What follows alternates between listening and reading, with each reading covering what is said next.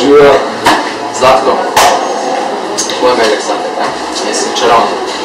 In sicer, uh, preden bi kakoli začela, ne? mi jaz nismo nič prej preozmenila, ker to, ne? mi gremo za to žive za naše gledalce, ne? Tu, Lej, Zlatko. Jaz sem zdaj probal malo igrati s tvojimi misli. Aha, Ok? dobro. Lej, uh, čisto preprosto. Igralne karte poznaš. Karta? Ja, poznaš.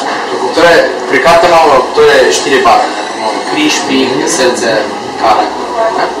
Že dolgo si karto porodil. Lej, se, jaz hočem od tebe, da si zamisliš eno karto, ampak pred.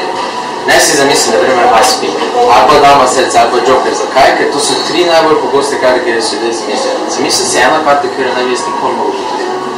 Ok, samo ne povedati. Zamisli, Ok, ok. misliš? Mhm.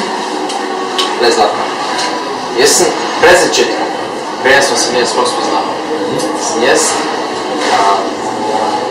kupil to kart, ne, ki ima 50 kart, sem jaz eno, eno karto na robu vrnil. Ok, Ja? dobro. A mi prosim poveš, kjero karto si se ti izbral?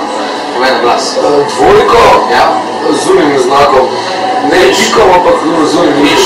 Daj križ. Ja, ja, ja. To si si izbral. To, ja. Zadnja odločitev. Zadnja. Glej, jaz njega neč tukaj, ne? Colors.